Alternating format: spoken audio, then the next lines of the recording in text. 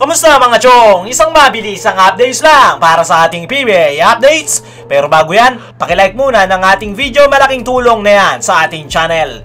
Coach Richard Del Rosario, effective sa Barangay Hinebra. Ito nga si Coach Richard Del Rosario mga chong ay ang naiwan para humawak sa Barangay Hinebra ngayong elimination round. Ngayong nasa US si Coach Tim Cone para maging assistant coach ng Miami Heat ngayong NBA Summer League. At sa unang sabak nga ni Coach Richard bilang head coach kontra Converge Fiber Xers ay maganda naman ang kinalabasan at ang resulta ay nakuha na nga nila ang kanilang ikalimang panalo ngayong Philippine Cup. Bago nga magsimula ang laro ay nag-text nga daw si Coach Tim Cone kay Coach Richard kung papaano nito hahawakan ang kanyang koponan. Ayon nga kay Coach Richard Del Rosario ay sinabi nga sa kanya ni Coach Tim Cone na good luck at coach it the way you could coach and not how you could think I would do it. At dahil nga sa text message na yan ni Coach Tim ay hindi nga na-pressure si Coach Richard sa unang sabak nito bilang head coach ng Barangay Hinebra. Para sa akin mga chong, ay successful ang unang sabak ni Coach Richard sa Barangay Hinebra dahil parang hindi nga nawala sa kanila si Coach Tim Cone dahil na-execute nga nito ng maayos ang kanilang mga plays at mas malalim kahit papaano ang player rotation nito. Nasusundutan nga niya ng kahit maliit ng minuto itong kanilang rookie na si Jason David. Hindi gaya ni Coach Tim na nakafocus lang sa kanyang veterano at starting five. Sa ngayon ay maganda naman ang itinatakbo ng Barangay Hinebra under Coach Richard Del Rosario. Tiwala nga sa kanya si Coach Tim Cone at Hinebra Management na magagawa nitong mabuti ang kanyang trabaho. At tingnan na lang natin sa mga susunod na laro ng Barangay Hinebra kung may pagpapatuloy yan ni Coach Richard.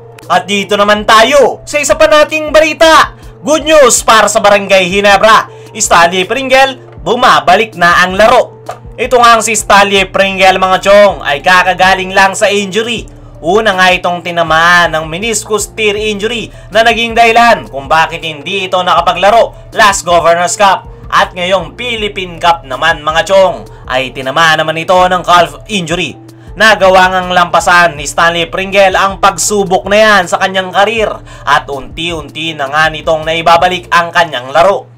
Sa comeback game nga nito kontra Converge Fiber Xers ay hindi man kasama sa starting 5 at limited minutes lang ang ibinibigay sa kanya ni Coach Richard Del Rosario ay napakalaki nga agad nang nai-contribute nito na mayroong 11 points at 3 assists.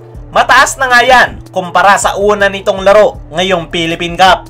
Kaya naman, masaya na nga ngayon ang Inebra Management sa performance na ipinapakita ni Stanley Pringle. At ayon nga sa mga source ay hindi nga nila bibiglain si Stanley Pringle. Unti-unti ngang ibabalik ng Hinebra coaching staff ang minuto nito sa Barangay Hinebra sa mga susunod pa nilang laro para masigurong hindi mag-aggravate ang calf injury nito. At the same time ay may kondisyon ang laro ng kanilang scoring machine. Napakagandang balita nga niyan mga chong dahil alam naman nating lahat na napakahaba nga ng Philippine Cup at kinakailangan nga nila ng presensya ng balbas ni Stanley Pringle, especially pagpasok ng PBA playoffs. Kaya naman, slowly but surely nga ang galaw ngayon ng Inebra coaching staff kay Stanley Pringle. Para sa akin mga chong ay naniniguro lang ang Barangay Hinebra na hindi muling tatamaan pa ng injury ang nasabing gwardya. Dahil gaya nga ng sabi natin kanina, Napaka-importante ni Stanley Pringle ngayong Philippine Cup at tingnan na lang natin ang mangyayari sa mga susunod na araw. Ano sa tingin nyo mga chong na ibabalik na ba ni Stanley Pringle ang kanyang tunay na laro? I-comment mo lang dyan sa ibaba at babasahin natin yan. At alam mo na mabilis ang updates natin mga chong at hanggang sa muli!